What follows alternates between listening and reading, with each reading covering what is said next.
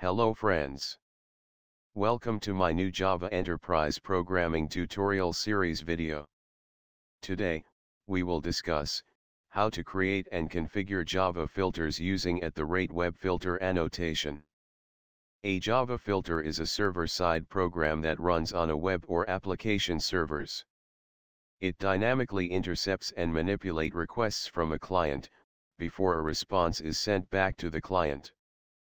Let's move ahead to NetBeans 8 and see how to create and configure Java filters using at the rate web filter annotation. Friends. In my previous tutorial video on how to create and configure Java filters using web.xml, I have created a filter by name host filter. Link to video is provided in the description below. This filter has been explained clearly in my previous tutorial. The host filter in previous tutorial was configured through web.xml file, which is the deployment descriptor. In this tutorial, I will be teaching you a way to configure filters through annotations. Let's go to web.xml file.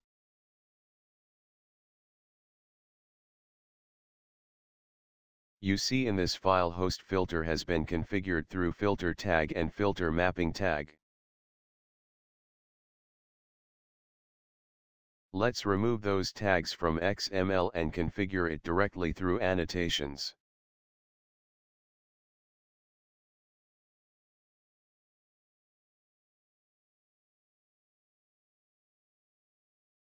Let's go to host filter class. In order to configure this Java class as a Java filter, we need to provide an annotation at the class level.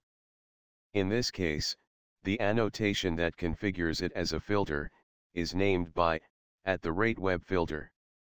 This annotation is present in javax.servlet.annotation package.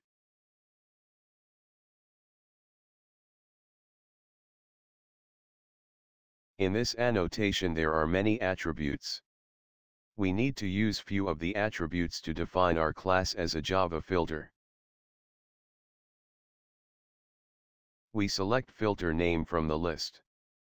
To this attribute we provide the name of the filter. This is similar to the filter name tag in the web.xml file, which we discussed in previous tutorial. Let's name it as, host filter. We also have to provide URL pattern to this filter. For that, we use URL pattern attribute and provide a value to it as slash star. It signifies that all request coming to slash which is context root, goes to this filter over which annotation is placed.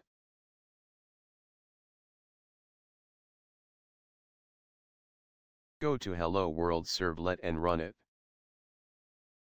Let's see whether our filter intercepts it. It starts Glassfish server and deploy application 1 to it. It executes Hello World Servlet and prints Hello World. Let's go to server logs and see whether it printed info we logged into host filter. If you see closely in logs, it printed initializing host filter, which we logged into init method. Thus, init method gets executed when filter initializes. Then, it prints remote host and remote port, logged into do filter method. But, destroy method logs didn't got printed. It is because filter is still loaded into memory. Let's go to Services tab in NetBeans, and under Server section, go to Applications and undeploy Application 1.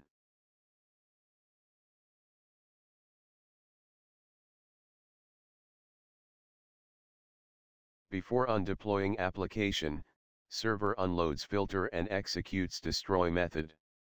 It logs destroying host filter into the server logs.